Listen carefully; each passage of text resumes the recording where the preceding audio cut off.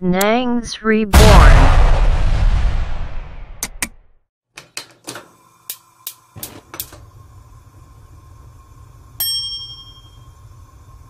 Waouh Et messieurs, bonjour et bienvenue sur Ascriban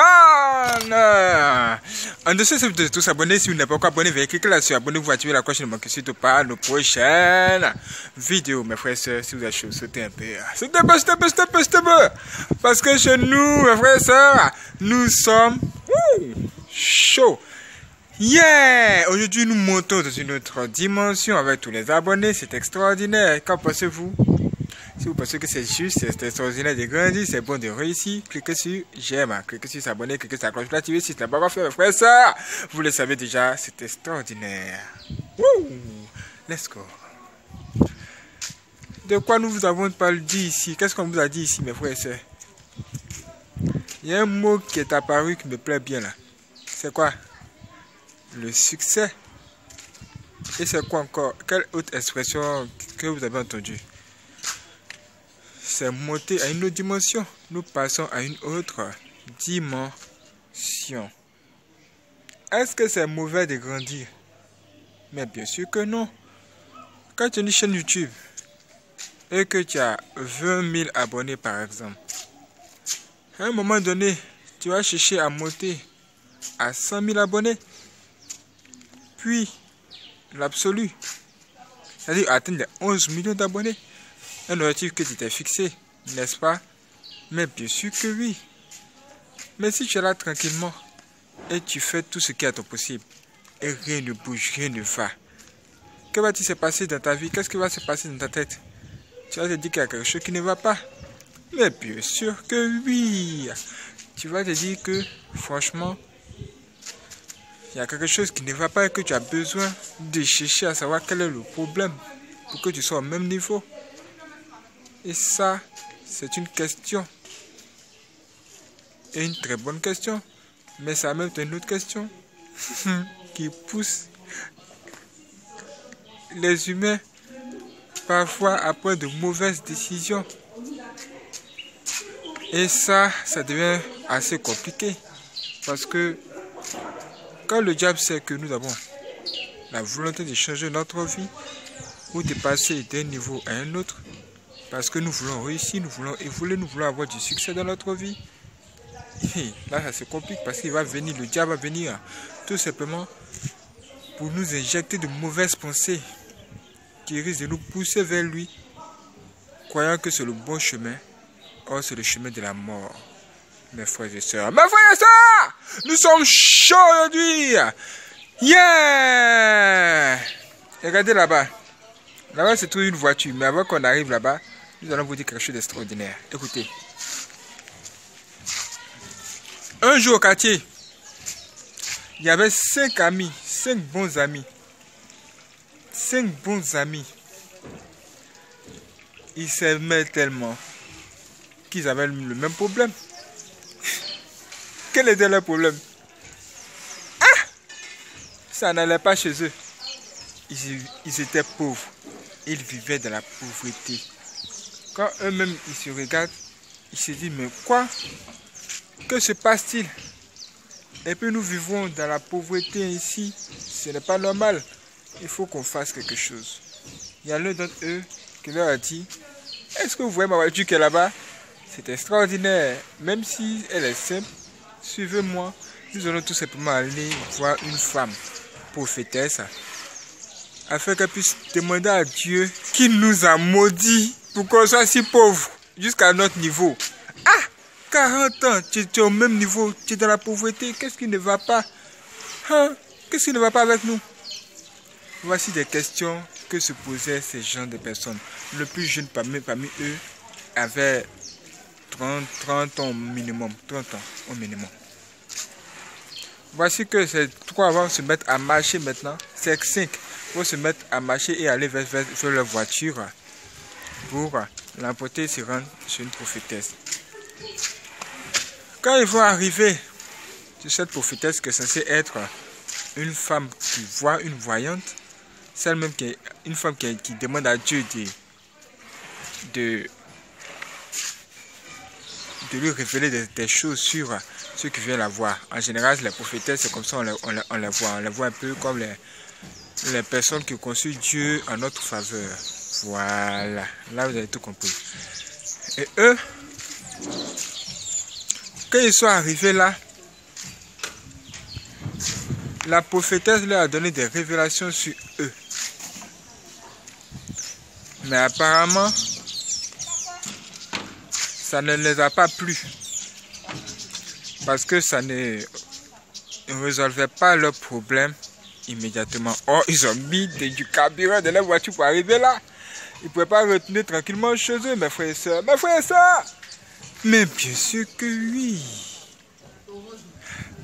Qu'est-ce qu'elle a dit en général? Dans l'ensemble, elle a tous dit, elle a tous dit que Dieu est béni, il peut, il peut bénir, il peut même vous bénir.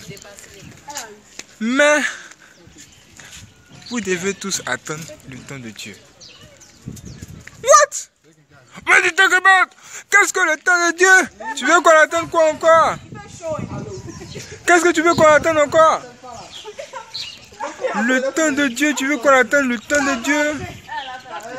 Le temps de Dieu, c'est ce que tu veux qu'on attende? Il dit franchement, nous, nous avons... Moi, j'ai 40 ans. J'ai attendu le temps de Dieu jusqu'à aussi. Moi, il n'a pas vu de mourir pauvre.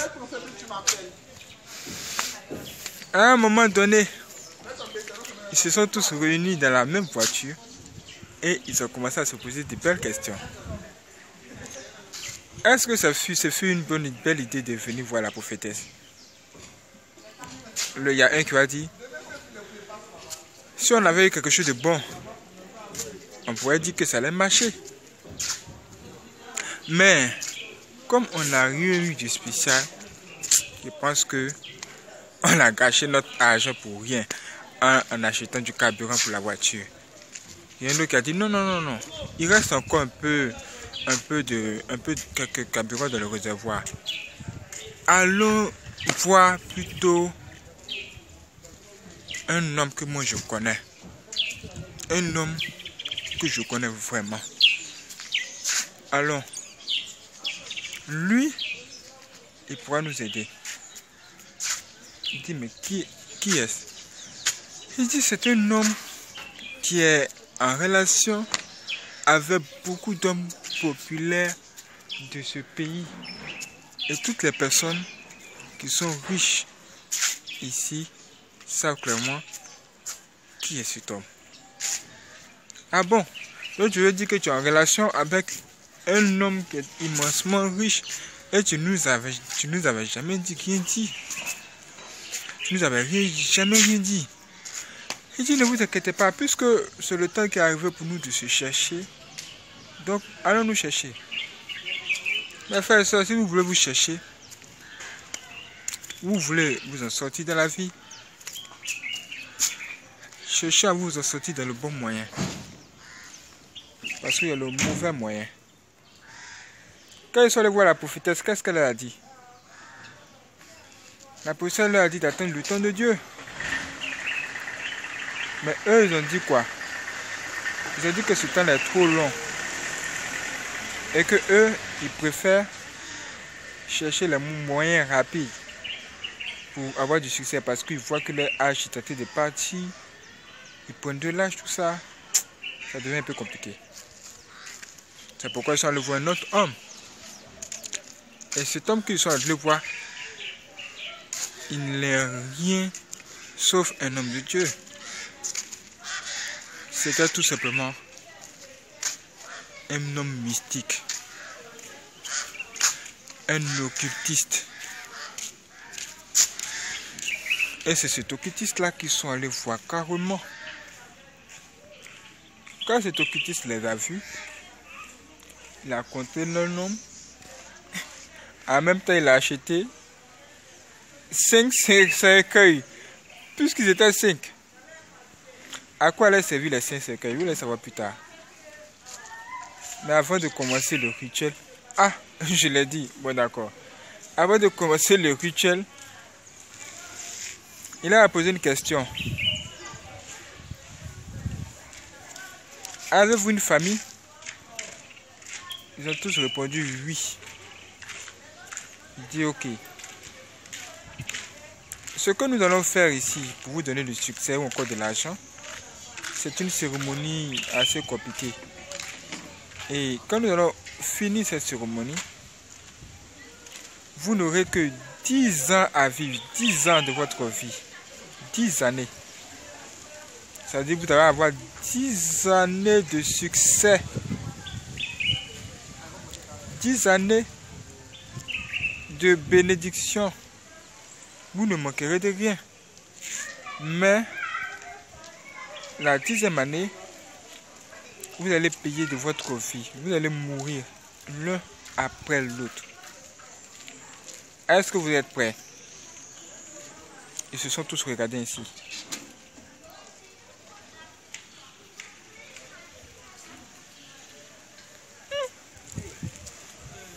C'est un peu bizarre. C'est un peu compliqué. Allons réfléchir un peu. Ils sont tout de suite arrivés dehors. Ils sont entrés dans la voiture. Et il faut voir maintenant les, les de, de causer entre eux. Il y a le premier qui dit Ah, franchement, l'argent est bon, mais la santé est mieux. Hein? Moi, je préfère vivre. Après 10 ans, je vais mourir. Mais pourquoi? Ah, pourquoi vais-je mal finir comme ça? Moi, même si la pauvreté est dure, mais j'aimerais vivre. Il y a un autre qui a pris la parole qui dit Tu parles comme si la pauvreté c'était facile à vivre. C'était dur. Et toi, tu nous dis que tu ne comprends pas. En tout cas, moi, je suis prêt à, à, accepter ce pacte. Un troisième aussi a pris la parole pour dire Car après tout, si on ajoute 10 années à notre âge, moi, par exemple, j'ai 40 ans. Si on a 10 années à mon âge, ça fait 50 ans. Qu'est-ce que ça m'enlève? Je peux vivre, je peux vivre. Je peux vivre jusqu'à 50 ans. Et pourquoi pas? Moi, je pense qu'il n'y a pas de problème à ce niveau. Je pense qu'il n'y a pas de problème. Moi, je suis prêt. Même le Seigneur, même, même le Jésus-Christ, quand il est venu sur la terre, combien de temps il a vécu? On dit c'est quand il est venu à, à partir de 30 ans, environ de 30 ans qu'il a commencé son œuvre. Et il n'a même pas duré. Ils ont tué les sacrifiés. Ils ont, ils ont, tué. Donc, moi, à quoi ça, ça, ça me servirait? De, ne pas profiter de mes 10 bonnes prochaines années de succès Moi, je pense que c'est une bonne idée. À un moment donné, les, les cinq hommes pauvres se sont tous mis là à réfléchir. Ah Leur idée, leur, ce qu'ils veulent, c'est de détruire ou encore combattre le, le démon de la pauvreté. Ou encore sortir de la pauvreté. En même temps, il y a un deal. Il y a un deal, il y a un deal à respecter. Il y a un pacte qui est là. Dès qu'ils reçoivent le succès, leurs jours seront comptés à cet instant même. 10 ans de succès, et c'est tout. Pour eux, c'était un peu. En même temps, quand ils regardaient devant eux, ils ne voyaient pas quelque chose d'autre qui pouvait vraiment les aider. Ils sont allés chez la prophétesse. On suppose qu'elle est censée être comme un serviteur de Dieu, n'est-ce pas? Et Dieu lui-même leur a dit d'attendre le temps de Dieu, d'attendre son temps. Et eux ne pouvaient franchement pas écouter les messages de la foi. Ils ne pouvaient pas attendre le temps de Dieu. Et finalement, les cinq, avec une décision unitaire, ils ont tous décidé de se rendre finalement chez ce topitiste pour faire le rituel. Hmm. Qu'est-ce qu'on vous avait dit au départ? On vous avait dit que cet homme tout simplement avait déjà acheté 5 cercueils. Selon vous, à quoi ça va servir? Si vous avez bien suivi, vous savez. Ça va servir tout simplement à, à faire ces rituels.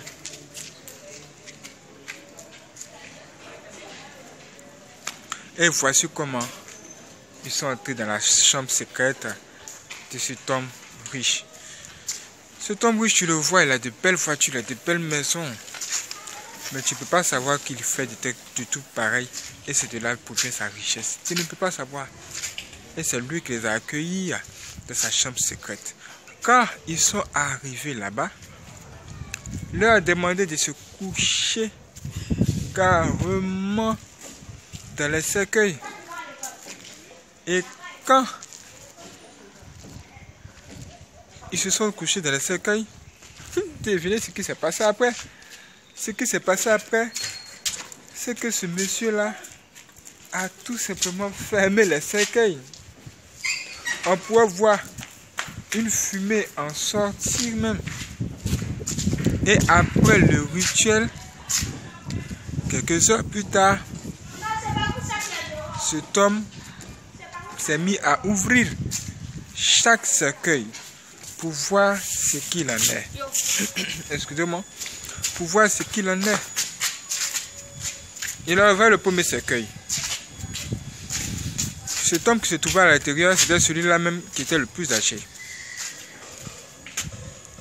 Il s'est pas se dit Dieu merci, il s'est réveillé, mais Dieu merci, il s'est réveillé de sa tombe. il est revenu à la vie. Le second, il est mort. La deuxième personne est décédée. La troisième est revenue à la vie. La quatrième à la vie. La cinquième et la, dernière personne est revenue aussi à la vie. Comment était-il au départ? Ils étaient au nombre de 5. Et finalement, seulement 4 sont sortis de ce rituel sans problème. On peut dire en vie. Et les autres sont morts. Ils sont carrément tous morts. Et, et celui un est mort. Il est carrément mort. Un seul est mort. Et les quatre sont restés en vie.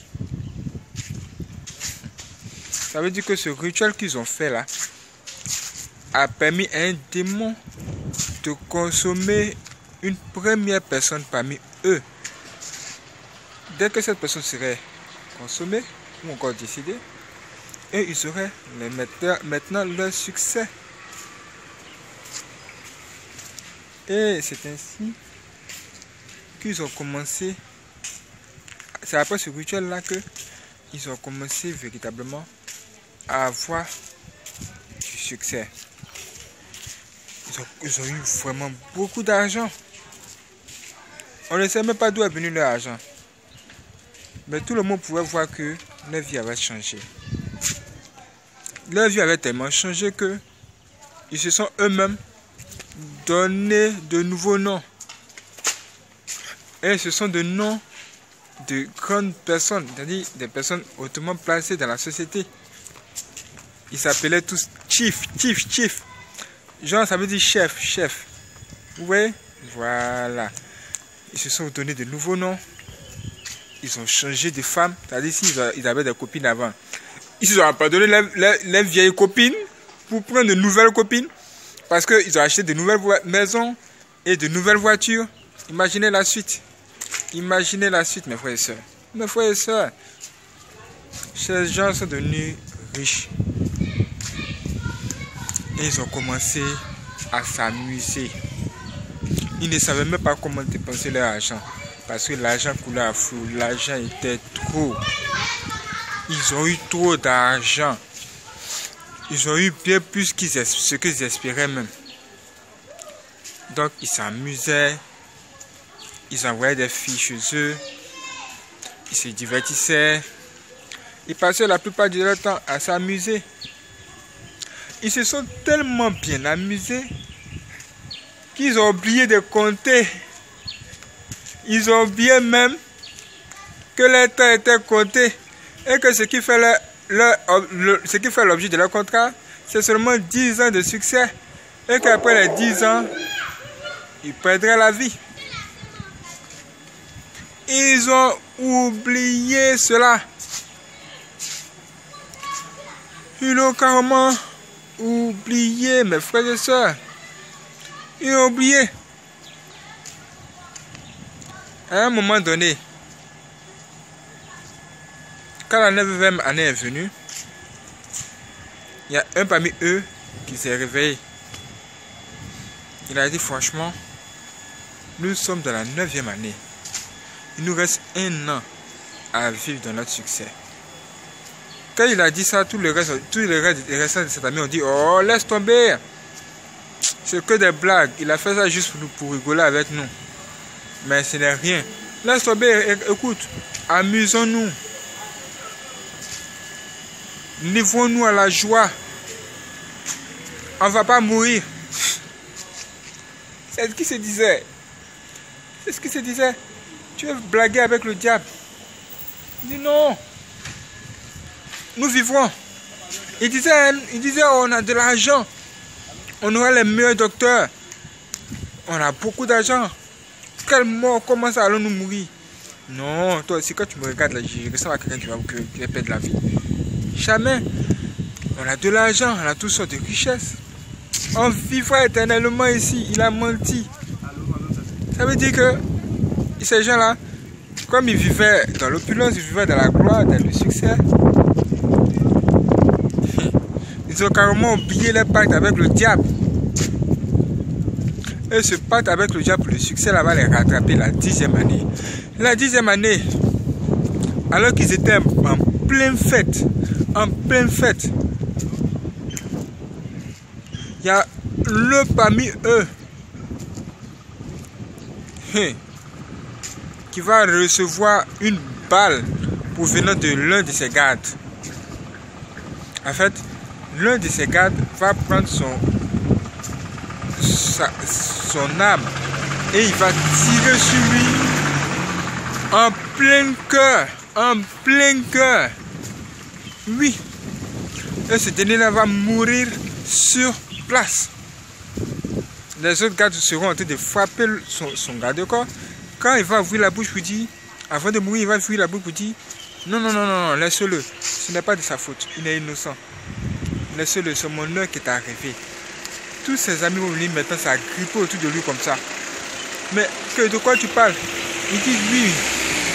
Mes amis, c'est de ça que je de vous parler là. Il s'agit de notre pacte. C'est notre heure qui est arrivée. C'est mon temps. C'est moi qui étais le premier à être pris. Je vous souhaite bonne chance à vous. Et il a rendu l'âme. Voici comment le, le premier parmi eux, il est décidé.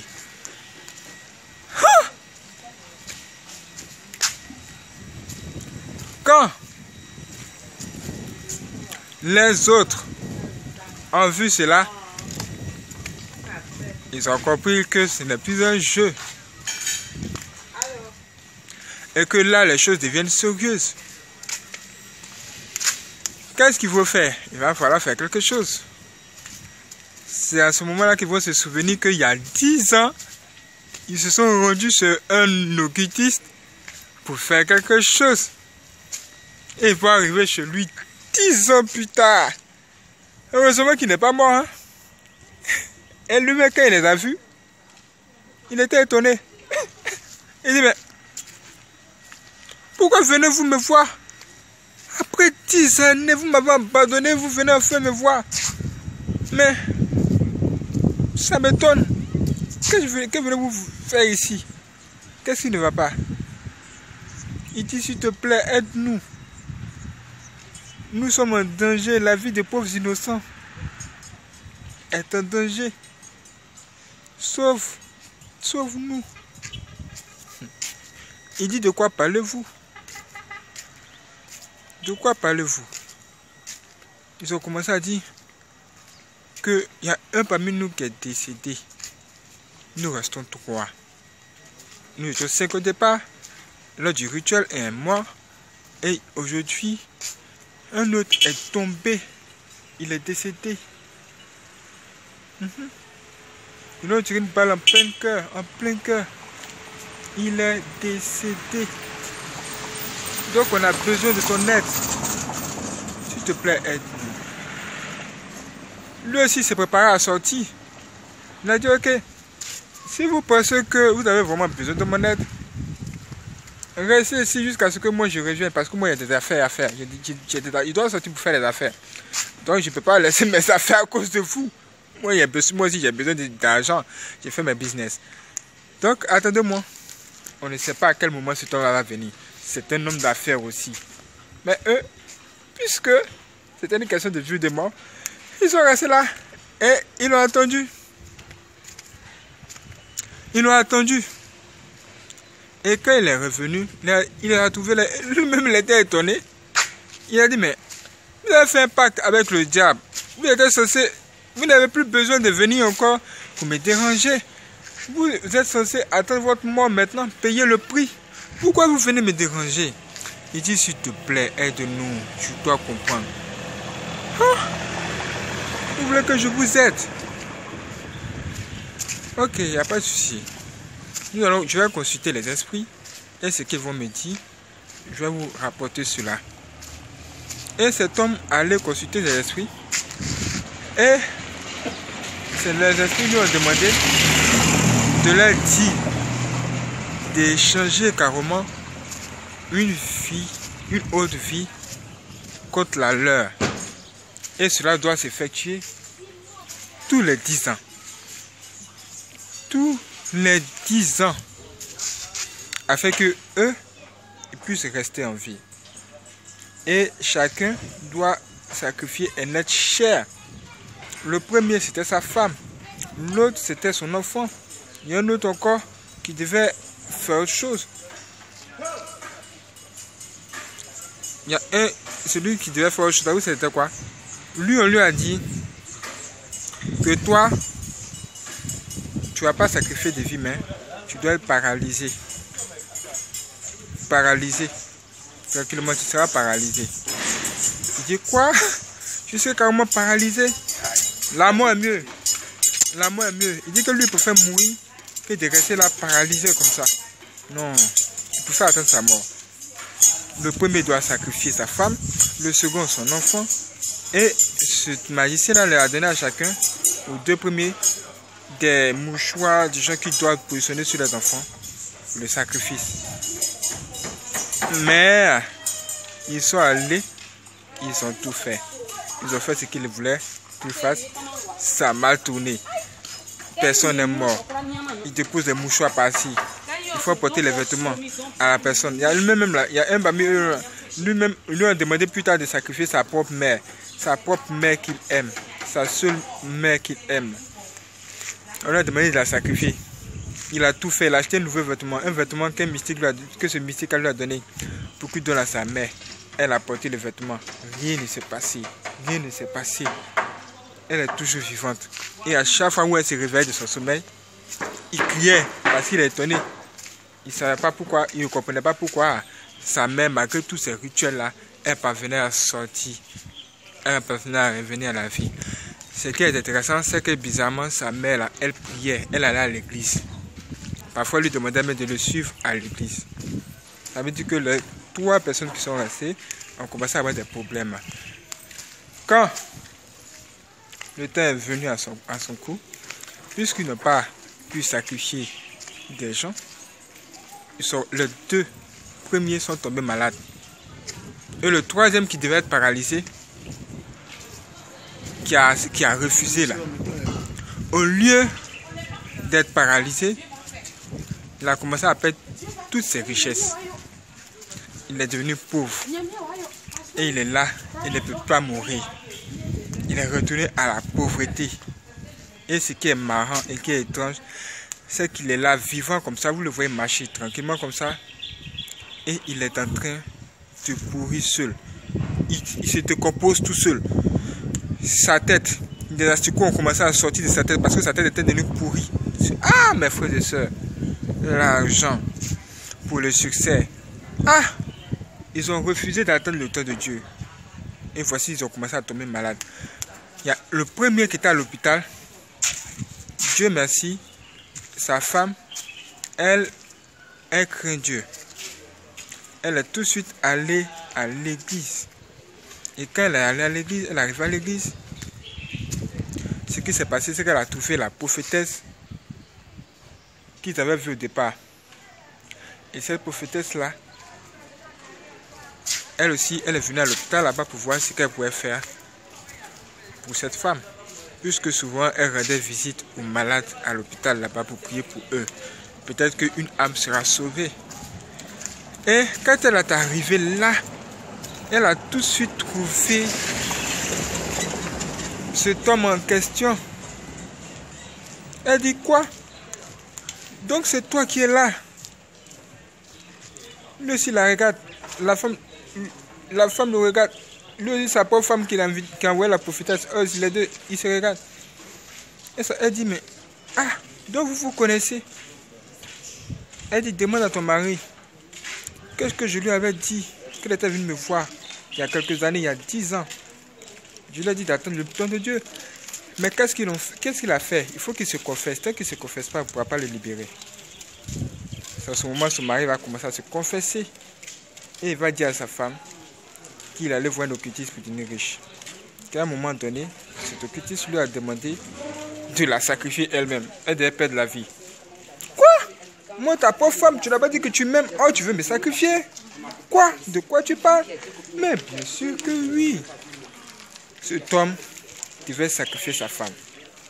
Et comme il a fini de se confesser, et qu'il s'est confessé sincèrement, la femme prophétesse là, dans, cette histoire, elle a prié pour lui et Dieu merci. Dieu a accepté son pardon et l'a délivré. Et après l'avoir délivré, lui aussi, il voulait que cette prophétesse arrive chez son ami pour que la même prière puisse être faite pour la délivrance de son ami.